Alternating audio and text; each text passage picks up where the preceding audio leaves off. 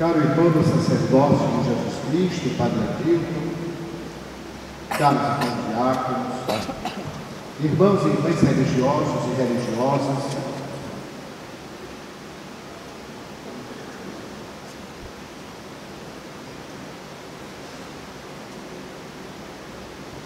caros irmãos da nossa confraria, da Nossa Senhora da Conceição da Praia, permitam-me saudá-los todos na pessoa da nossa querida irmã e amiga Maria Gabriela, cara irmã Thaís, Luísa da Festa por este ano,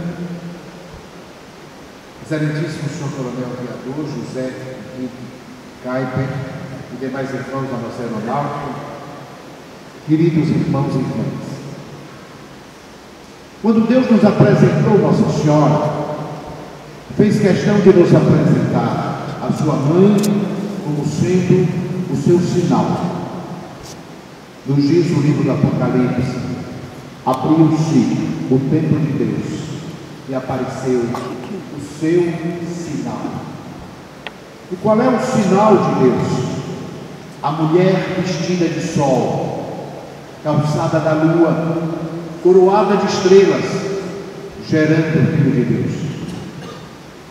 Quando Deus nos apresenta Nossa Senhora como sendo o seu sinal, é o grande convite que nos é feito. Olhemos para ela e vejamos em Nossa Senhora realizada em plenitude a obra de Deus. Santo Afonso Maria de Ligório nos dirá: em Nossa Senhora Deus esgotou o poder do seu amor que opera, colocando nela todo o esplendor da sua glória e das virtudes. A partir daí, é olhando para ela que nós cristãos estaremos vivendo e buscando ser cristãos em plenitude. No dia de hoje, como tema na nossa noite, somos convidados a pensar sobre o mistério da fé, vivido por Nossa Senhora, que faz com que nós sejamos no mundo, como foi Nossa Senhora, testemunhas de Jesus Cristo. O que seria a fé? Às vezes a gente se depara em conversa com alguns irmãos nossos que nos dizem ah, senhor bispo, eu tenho muita fé. Eu tenho procurado estudar muito sobre Deus. E o tanto que eu conheço de Deus, o tanto que eu já estudei, me fortifica a fé. Pode até ajudar, mas desculpe, a fé não é um ato intelectual. Se assim o fosse, nos diz Santiago em sua carta, a criatura que mais teria fé seria o próprio Satanás, porque ele conhece sobre Deus mais do que toda a humanidade reunida, e nem por isso tem fé. A fé não é um ato intelectual pelo qual eu conheço sobre Deus. E como é que Nossa Senhora viveu essa experiência de não ser um ato intelectual, viver a sua fé. Imagine o mistério da anunciação do anjo. Uma pobre menina, ainda bem jovem, vai tornar-se vai tornar-se grávida, sem ter casado, sendo totalmente virgem. Quais as condições desta situação em Israel? Colocada em pública e passando por duas situações ou seria apedrejada, ou seria queimada viva. Por uma das duas situações ela teria que passar. Intelectualmente, Nossa Senhora não entende o chamado de Deus, mas na atitude de fé, apenas responde a Deus que chama, entrega-se ao Senhor e faz-se sua serva. Queridos e santos irmãos, assim como Nossa Senhora Não podemos dizer que temos fé porque sabemos, porque conhecemos, e muito menos porque entendemos. Porque o Deus que se entende, que é compreensível, não seria mais Deus, porque estaria limitado à própria fragilidade da inteligência humana, limitada, pequena.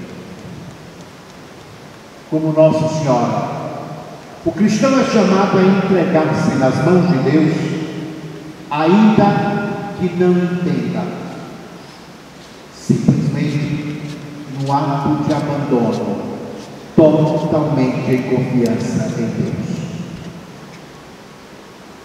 A primeira grande verdade da fé é que não sendo um ato intelectual, conhecimento sobre Deus é sim atitude de vida daquele que se entrega nas mãos de Deus. Dessas mãos se abandona, fazendo-se totalmente nas mãos de Deus, entregue para o que Ele quiser fazer de mim, segundo a sua vontade. Uma outra situação que às vezes nos falam sobre a fé. Ai, meu Marco Gênio, quando eu me vejo no momento de oração, na novena da Conceição, lá na praia, e ouço a beleza dos cantos, a beleza da música, e vejo toda a beleza da liturgia, eu fico tão emocionado, eu chego até mesmo a chorar eu me deixo inundar de fé. Eu olho e volto a dar a mesma risada. A fé não é emoção. A emoção é uma simples situação pela qual passamos em contextos passageiros da vida. Mas a emoção não é vida. E a fé tem de ser vida. Eu não pratico a lei de Deus. Eu não celebro o mistério de Deus. Eu não expresso a minha dependência para com Ele na oração, porque me emociono, porque gosto. Mas eu tenho que fazer porque eu o reconheço como meu Senhor e meu Deus em Nossa Senhora. Nós não nos deparamos em nenhum momento com situações de alegria e de prazer, muito pelo contrário. Em todos os momentos pelos quais Nossa Senhora vai vivendo o mistério de seu filho, é exatamente o prenúncio da paixão que lhe é comunicado. Para o parto, não vai encontrar casa nenhuma que a possa acolher que vai ter que acontecer no estribaria. Para apresentação no templo, quando todos imaginavam um momento de alegria, como são os nossos batizados, ela recebe a profecia de que uma espada de dor lhe transpassará a alma. Para acompanhar o Senhor, ela tem que perdê-lo e buscá-lo angustiada durante três dias. Para encontrar o Senhor, ela tem que correr pelas ruas de Jerusalém e encontrá-lo carregado com a sua cruz. Para estar do lado dele, ela tem que estar levando para ele toda a dificuldade de um povo quando falta vinho na festa. É a maneira como Nossa Senhora tem para chegar ao Senhor. Estar ao lado dele é estar aos pés da cruz, é receber o morto e contemplá-lo depois glorificado. Participar do mistério do Senhor não é a emoção que nos garante a alegria e o prazer momentâneo, mas é a consciência de um amor intenso de Deus por mim, que faz com que eu engaje minha vida no projeto de Deus, ainda que me custe sofrimentos e provações. Mistério de Nossa Senhora, na experiência da fé, apresentada a nós vem mostrar exatamente o que a fé não é. Não é um ato intelectual conhecer sobre Deus. Não é uma atitude emotiva gostar e ter prazer. E o que seria então a fé? A atitude de vida pela qual nós nos colocamos, assim como fez Nossa Senhora, no projeto de Deus, mesmo sem compreender, mesmo sem entender, mesmo sem gostar, mesmo sem ter prazer, na atitude de entrega confiante a Deus que chama. Quando nós nos colocarmos em atitude de fidelidade ao projeto de Deus, é aí que, a exemplo de Nossa Senhora, nós estaremos vivendo de maneira clara e intensa aquilo que é para mim a minha atitude de fé.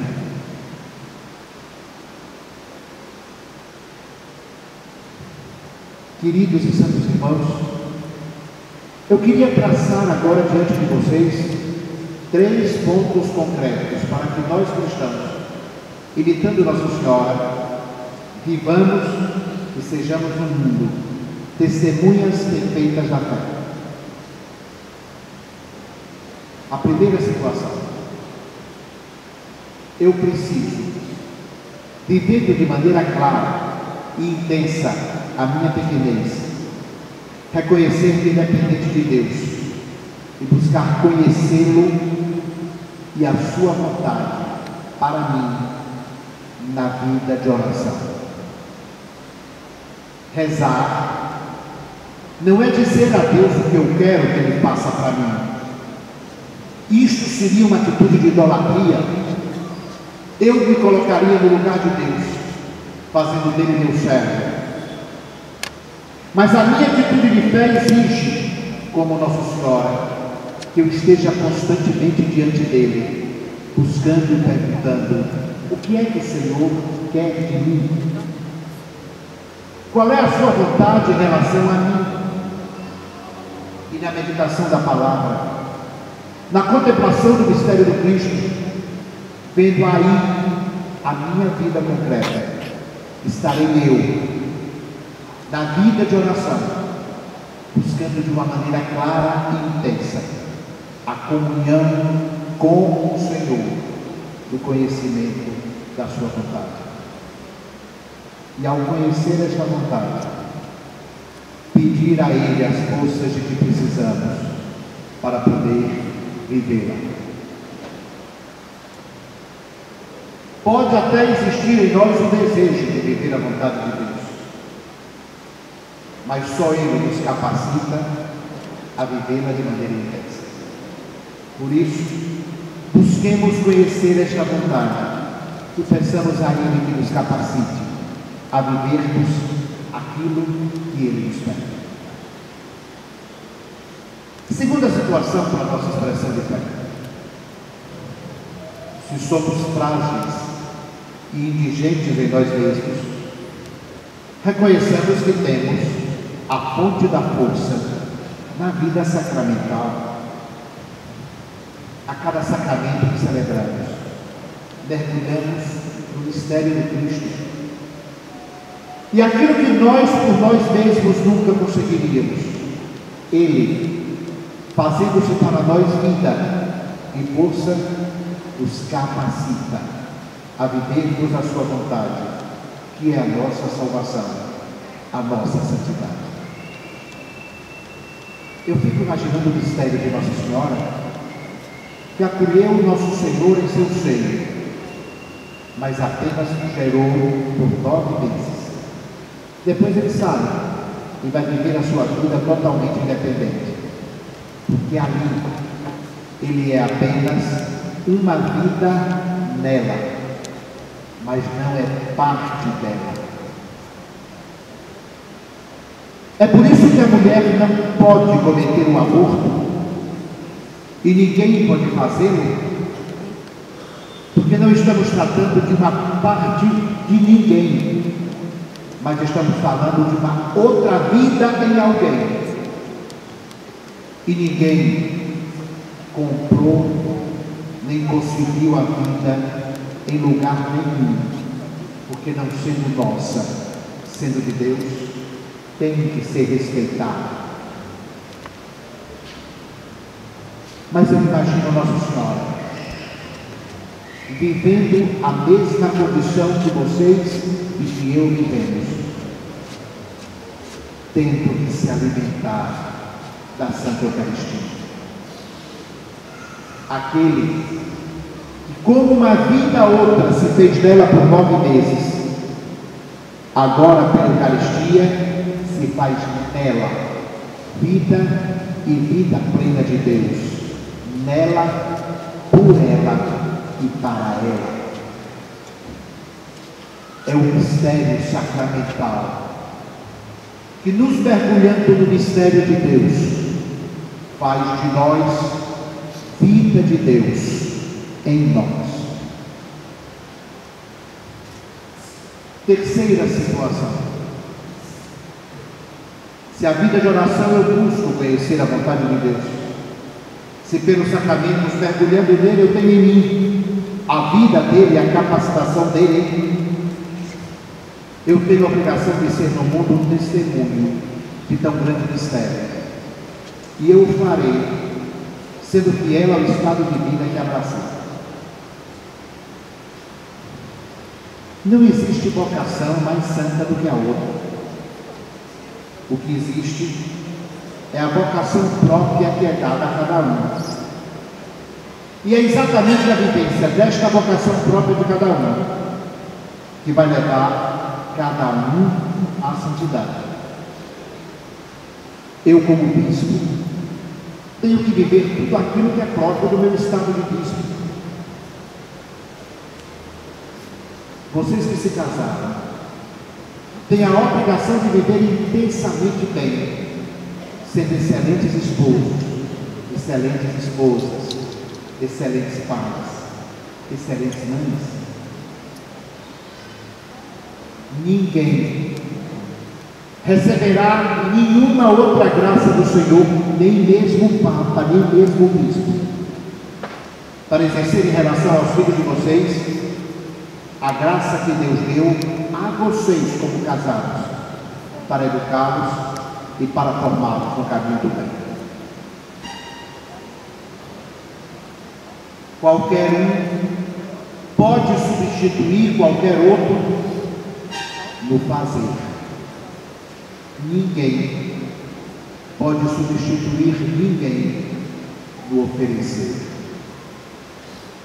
O meu trabalho de bispo qualquer outro poderá fazer.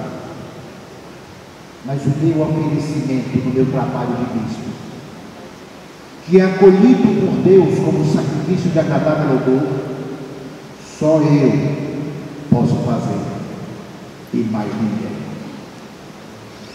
E é exatamente este trabalho, é exatamente esta proposta de vida que vai colocar em cada um de nós e fazer de cada um de nós no mundo testemunhas do Senhor. A vivência da fé que nos leva a buscar a vontade de Deus pela oração que nos leva a buscar a força de Deus para viver nos sacramentos, nos impulsiona à fidelidade ao estado de vida que o Senhor nos entregou, nos confiou e que espera ver realizado pela nossa vida, pela nossa história. Queridos e santos irmãos, o mistério da fé fez com que no coração e no seio da Virgem Maria ele encontrasse a sua casa. E ali no seio da Virgem Maria, ele habitou por nove meses. No seio da igreja, na fé que a igreja professa, ele haverá de habitar até a consumação do século mas no coração de cada um de nós. Que fiéis a Ele, acolhendo em nós, pela vida sacramental, e vivendo de maneira concreta, como um compromisso de vida, ele haverá de habitar por toda a eternidade na glória. Ó Maria, vós entrastes no mundo sem pecado, pela graça de Deus.